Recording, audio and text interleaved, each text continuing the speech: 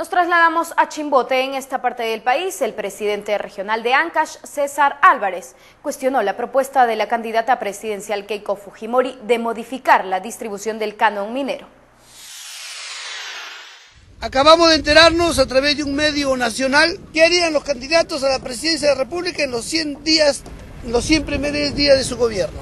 Y lo que nos ha preocupado aquí es realmente la propuesta de la señora Keiko Fujimori.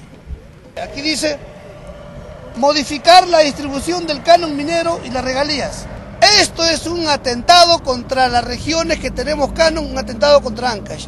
Esto es grave y lo hago en esta denuncia ante nuestro pueblo ancashino, que nos mantengamos alerta.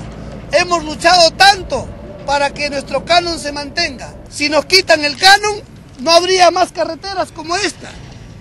Si nos quitan el canon, ya no podríamos cambiar las tuberías de agua y desagüe en Ancash. O sea, corre peligro el pueblo ancashino si nos mochan el canon tal como lo está anunciando el jefe de plan de gobierno de Keiko Fujimori, el señor Kirimble, y ella misma aquí en la, de la República.